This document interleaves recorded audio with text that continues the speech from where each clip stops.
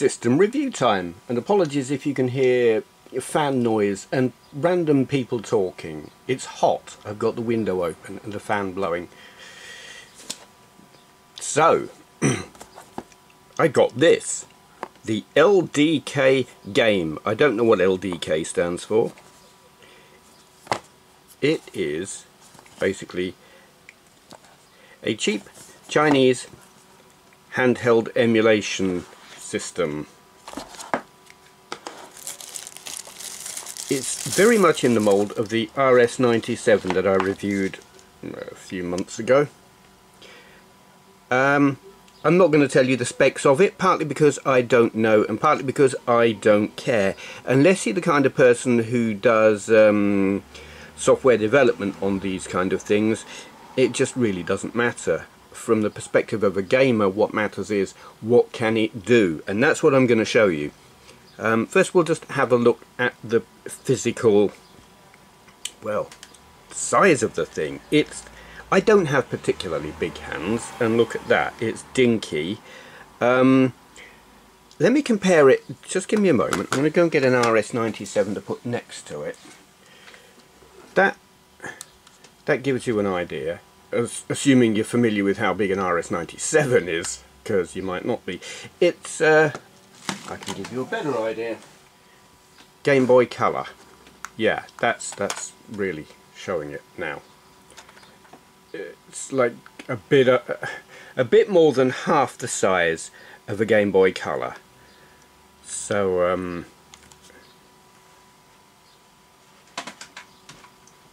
you can you can get a clue it's small. Um, button wise, you've got your four face buttons, you can see them there, start, select, D-pad, micro SD card slot, um, two buttons that it's like take your best guess what they are. Generally that one is the uh, brightness button. You just keep pressing it and the brightness goes up until it goes down and then you start all over again. You cycle through it. That button is sometimes a reset button on the software. Sometimes it's not. It depends on the software. Um, this is what I say when I what I mean when I say take your best guess. You've got shoulder buttons. That was good. I'll, I'll just hold it off the screen so you can see how well they work. Yeah, shoulder buttons, um, micro USB, AV out, uh, power on and off, volume uh, down to turn the volume up because yeah reasons I guess. Um, speaker battery. Seeing these a lot in um, handheld things just lately. Micro SD card, that being there is relevant. Uh, we'll talk about that a little bit later. And pleasingly you can open it without a screwdriver and you can put the thing back on if you put it on the right way. So, oh, and it's turned on. Um, I didn't actually intend to do that, but here we are with it turned on. So it when I say it is like the RS97, it is like the RS97 when you have put the custom firmware on it. Which is good, because without the custom firmware, the RS97 is a bit... But with it, it's great. Uh, this this is like utilities and stuff on this screen. Um, yeah, lots of reflection. I'm going to have to try and find a better angle for this. Give me a minute. Okay, this is going to be a little bit, it's going to look a bit squashed on your screen bec because it's just decided to turn itself off. Come back on you. It has a, a timer, it'll time out and um, here you are, you can see how quickly it boots. It times out and turns itself off if you're not doing anything, though it seems a little bit unpredictable in how quickly it does that. You can adjust it in settings, I thought I had. I thought the screen would turn off before the power turned off, but Mm, maybe not. Um, so various utilities and things. I only use a couple of these. That one, FF Play, that's a video player. It works quite well. I've, I've stuck a load of um, films on the micro SD card that are like super mega compressed and don't take much space and look pretty well like YouTube 10 years ago. Um, a music player there other things that really whatever. Um, you use the shoulder buttons to, to go through the various uh, oh god I can't see it very well. So that's consoles and well Final Burn Alpha so arcade as well. Then you've got games that are dedicated to the system and it is is based on Linux of some sort. Um, a lot of the same sort of stuff that is on the RS97 um, some clones, some ports, King of the Fighters. Overheated, don't know what that is. It's got um, it's got Quake. Now I imagine you need the WAD for that. Uh, I don't know why they call them WADs I find that quite weird um, but it's got Chocolate Doom on here somewhere as well. I can't. I, I, oh, there it is. Yes, I've, I've got the WAD for that, and we'll have a look at that in a minute. I find the choices of um, the icons they use interesting and a bit strange. You cycle through them, it's like here we are, we've got computers, but we've also got handheld, like we've got the Lynx, um, MAME, it doesn't seem completely logical in their um, categorizing of what system goes in what thing, but it's not really a big deal. You soon remember what's in what menu. Um, settings, really you can pretty much ignore all of that. You could set the time on it if you want to. I don't know that it entirely keeps great time. And when it doesn't show the time anyway, um, what's the point? Uh, the skins, that's useful. You can change how it looks. Uh, yeah, I've got it. Oh, I didn't really want to do that. Yeah, I had it on this one for a little while. I can't remember how to get... Yeah, there we go. Yeah, and that's kind of cool. It all pretty much looks exactly the same in all of the menus except, well, that one and that one they've all got the same icons and stuff. But you know it's it's nice if you care about things like that. Back to how it was. So now I'm going to try and find a decent um, angle for the camera and we'll have a look at some of the emulators that are on it because this is where it gets interesting. Okay then we'll have a look at some of the emulators on there. I mean mostly things that you would expect to work well work well. Game Boy works well, NES works well. We'll have a look at the um, Super NES and the Mega Drive and the GBA because they are ones that are some emulator based handhelds that I've used have struggled with. Um, now there's a couple, yeah, we've got two different um, SNES emulators. Dumb SNES, uh, I don't get on with that one and Super SNES, we'll have a look at that one. There is only one game I care about trying on this. And if you know me, you'll know what it is. Super Mario Kart, obviously. I'm not sure how well the camera's going to be focusing on this. I'm also not sure how much glare we're going to be getting on the screen. Probably far more than I want.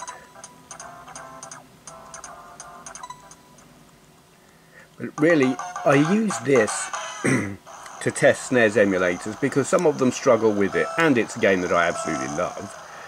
Um, and I'm like, if they can't play this, I don't want to use them. And it's doing pretty well.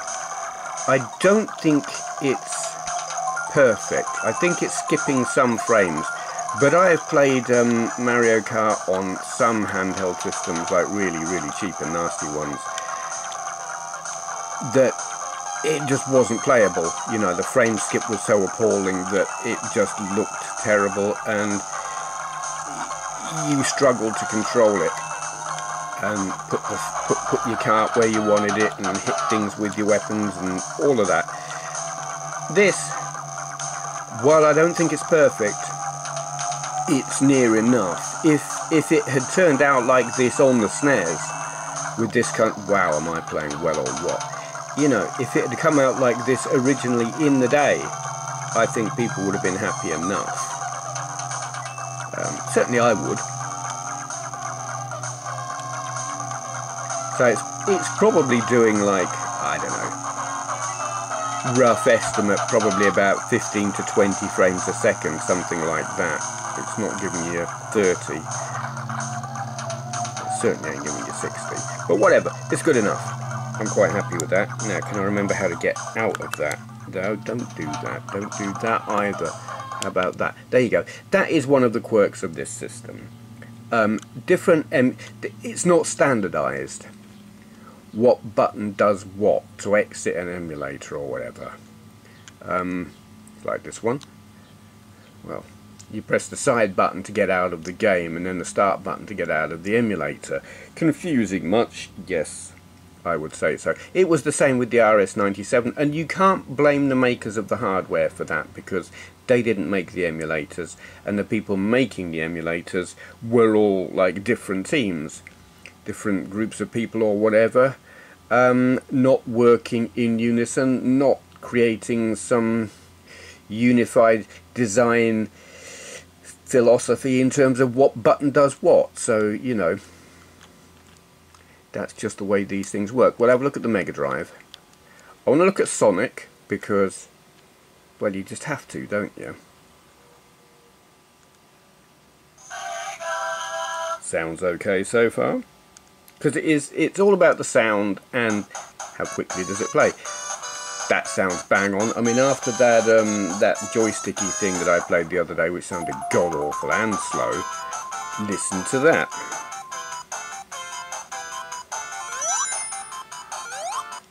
And it's we'll, we'll actually play the thing.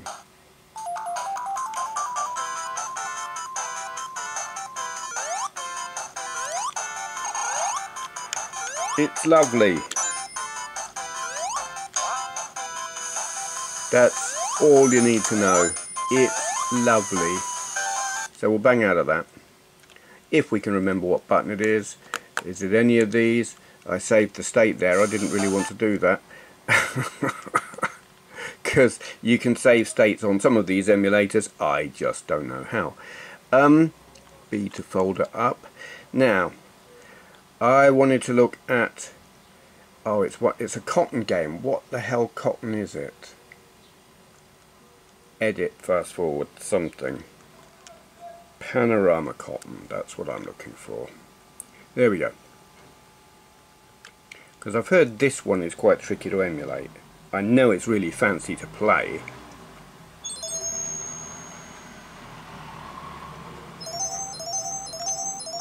Yeah, okay.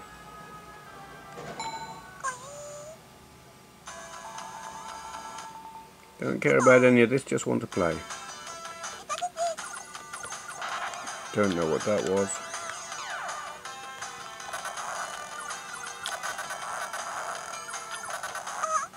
Something about when you get down near the ground, when we can see some ground.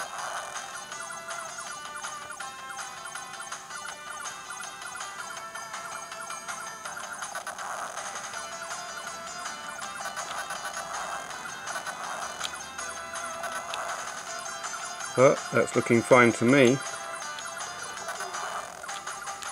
Apparently some emulators just completely mangle this. Uh, this does not appear remotely mangled to me. Got no idea what's going on, but it's not mangled. I love this game. Okay. Um, I don't expect this to work. Now I know the emulator, yeah, the emulator here is Pico Drive, which traditionally can run 32x and uh, yeah technically it can do it but um, in terms of playability forget it it can't even get through the intro sequence. That's not gonna happen. Okay we'll just get out of that. Now what else was I going to look at? Oh yeah. We'll have a look at Game Boy Advance then we're going to come back to that. There are a lot of computer emulators on here. Um, 8-bit, 16-bit. Atari ST I haven't tried that. A lot of these I haven't tried yet. They will work at least as well as they did on the um, RS-97. BBC Micro, let's just see. Now the, th the thing with this is you've got to configure it for the controls. Some of them will use standard con what did I just put in? I think I put in the wrong game. Oh yeah, I put in the wrong game. This I think should work without me having configured the controls. Yes, it does. And oh my god, it's loud. Just like my real BBC. Bloody loud. There's the fire button.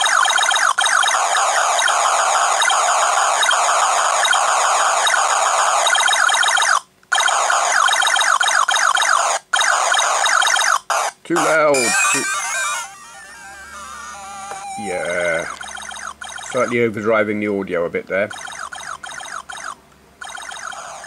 But I love, this is one of my, well, I had it on the Electron. I still have it on the Electron, and I, I love it. It's one of the best arcade-style games on there.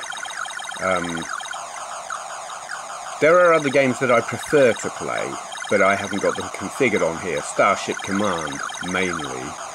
Um, I love that game, and I will get that configured so I can play it on here. But there we go. Let's let's bang out of that if I can work out how. Mm. Yeah.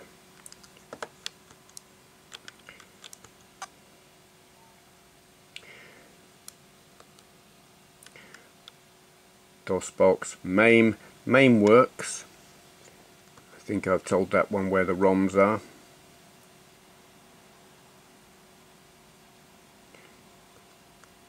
Yes. Um, some of these games need like a sound uh, sample set, and I haven't worked out where you're meant to put them. So like uh, Astro Blaster, I love that game, and I, I want to be able to play it with the sound. You need the sound, and I haven't got it on here. So, uh, but I know it does sound great on, well, relatively. Uh, it's all relative. The speaker on here, I have to say, is really impressive. Volume.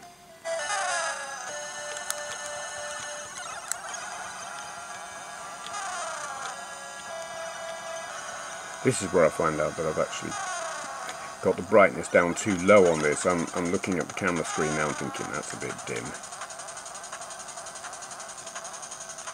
Oh well. Yeah, so, MAME works. Um, it's a version of MAME, like a, an old version of MAME, where you you've got to find exactly the right ROM set. You try and play anything recent, and it's just going to spit it out and say no chance, mate. But then it's the same with uh, Final Burn Alpha, which is on here. Uh, that's not what I want. That's what I want. And what is left and right to exit. Okay. It is nice when it tells you what you do to exit. So uh, yeah, Final Burn Alpha is, is very similar in that it's um, arcade games. It's on, yeah, this screen. There are two different versions, and I don't know what the difference is. Um, and I haven't got proper ROM sets here. I've got a load of stuff on there like Neo Geo ROMs that just plain don't run on it. It says, oh, this is too old or something. Um, so you have to find the right ROM sets. But the thing I really want to show you now is this. PlayStation, PS1. Because I didn't even try this on um, the RS-97, but I thought I'll give it a go on here. Because why not? I was going to show you the GBA, wasn't I?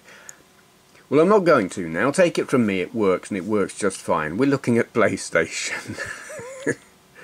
Uh, when I find it. There it is. Because this surprised me. Now, this has been described as like proof of concept. It's not... It's not great. It's definitely not running at full speed. And I tried a whole bundle of games and only got these three to play at all. But the fact is, no, that's not what we wanted to do. That's what we wanted to do.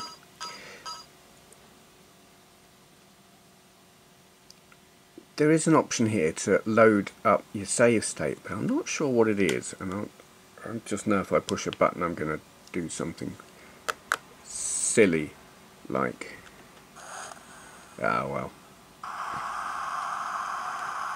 because I saved it having completed mm, almost the whole game. I had to race the yellow car and then race the black car.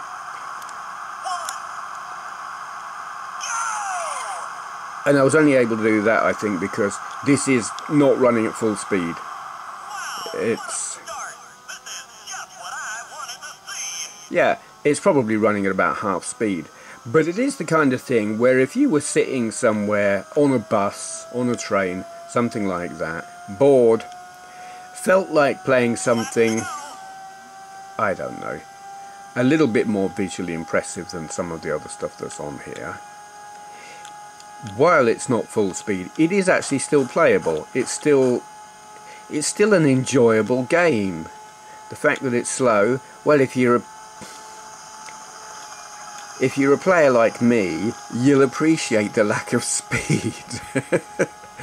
um, the frame rate is st still um, it, it's quite smooth. I imagine, oh look at that, I think I've spat on my screen.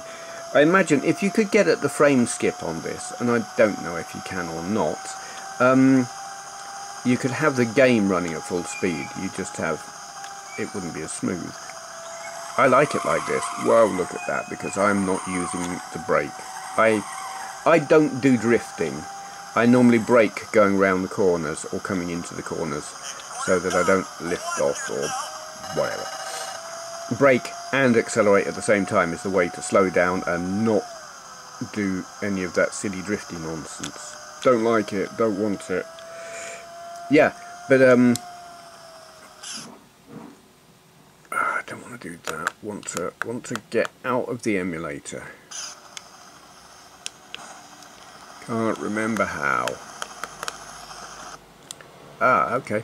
Oh, and here's how we load and save. You do start and select at the same time. Cool. So, that's that. Just to demonstrate really how slow that is. Crash Bandicoot.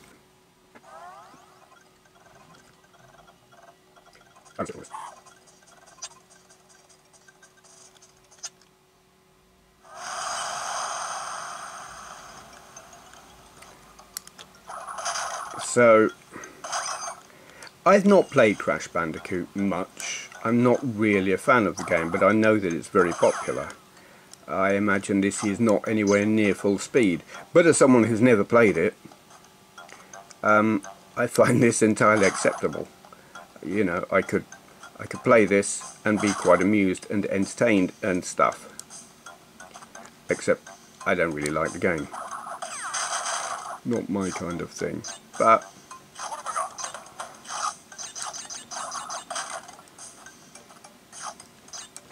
oh that's give me that. Yay. You can hear it slowing down. The music gets slower. Unless it did it do that on the you know on the PS1 did it slow down? I can't imagine that it would have. Um, but as you can see yeah bit slow but still playable and if you like the game, probably still fun. So that's all I'm going to look at here I think for now. Um, really I just want to demonstrate that for a tiny little handheld that is cheap and this is the important thing right you can have your um,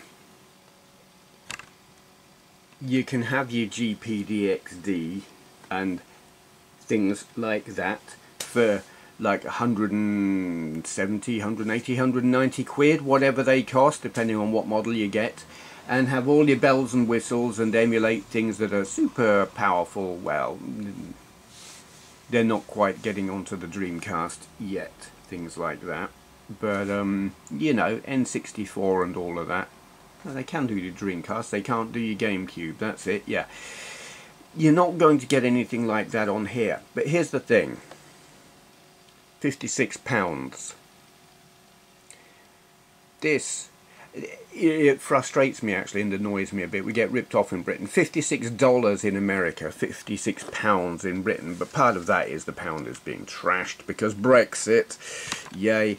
Um, but still, 56 quid, and it will play all of those systems, and it's this small. It's like you can fit it in your pocket. You're not going to be afraid of well, it's not going to hit your, your bank balance quite so much if you break it, lose it, whatever, where a, a GPD XD, you'd, you'd be pretty... I'd be upset if I lost this, but you know, you wouldn't be quite so scared carrying around in your pocket or in your bag or whatever. I do think it's brilliant, to be honest. I like the form factor, I like the size, it's nice and light, it plays a huge variety of um, systems. It What it isn't is a Game Boy. Um, you, I would not give this to a child because they're going to break it. And I don't mean physic, they might physically break it, but emulators being what they are, you can get into them, you can mess them about, you can make them not work anymore. And this is the kind of thing that you could make not work anymore if you messed about with it. Yes, you could get it working again, you reset all your settings and stuff.